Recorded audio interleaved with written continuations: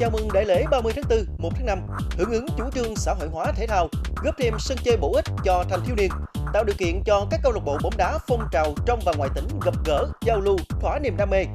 Phát huy thành công từ mùa giải đầu tiên, Đài Phát thanh Truyền hình Sóc Trăng tiếp tục tổ chức giải bóng đá tranh cúp STV lần thứ hai 2023. Một giải đấu mang tầm khu vực với sự tham dự của các đội hàng đầu tỉnh Sóc Trăng hiện nay cùng các câu lạc bộ mạnh đến từ các tỉnh thành đồng bằng sông Cửu Long. Tất cả sẽ cùng hội ngộ tranh tài tại thành phố Sóc Trăng trong 4 ngày, từ ngày 30 tháng 3 đến ngày 2 tháng 4, hướng đến chiếc cúp vô địch cùng tiền thưởng 30 triệu đồng và nhiều phần thưởng hấp dẫn khác. Giải sẽ chính thức khai mạc vào lúc 15 giờ ngày 30 tháng 3. Cùng với đó là các trận thi đấu sẽ được trực tiếp trên các kênh STV, YouTube, Facebook, truyền hình Sóc Trăng.